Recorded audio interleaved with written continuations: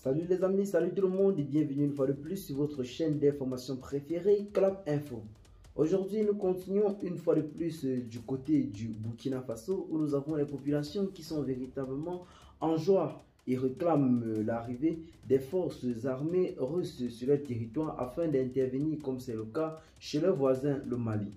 Ceux-ci sont véritablement en train de voir les merveilles que à ce moment les forces armées russes sur le sol malien.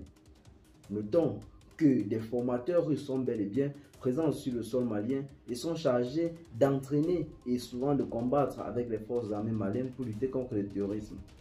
Ces derniers mois, le bilan parle de lui-même. C'est véritablement très lourd dans le camp des rebelles, alors que du côté du Burkina Faso, c'est plutôt dans le camp de l'armée que ne cesse de se compter et de s'accroître les cas après des attaques terroristes.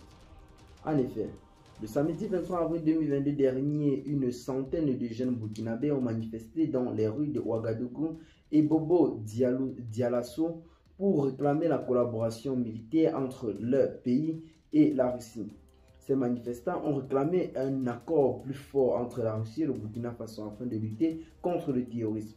Ils estiment que l'impact du partenariat militaire entre la Russie et le Mali est très parlant et très visible à nos jours lorsque l'on se fie aux nombreuses informations qui circulent sur les réseaux sociaux et au bilan donné par l'armée.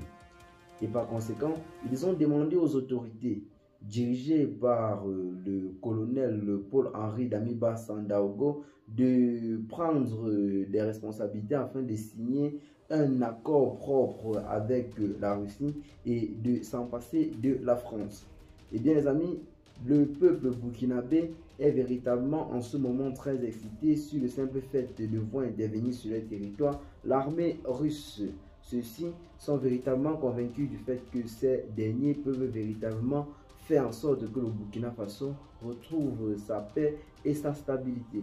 Qu'est-ce que vous en pensez? Êtes-vous de cet avis? Partagez la vidéo aux amis si vous intéressante. Abonnez-vous à la chaîne si ce n'est pas encore fait. Et à très bientôt pour de nouvelles notes d'informations. Bye bye.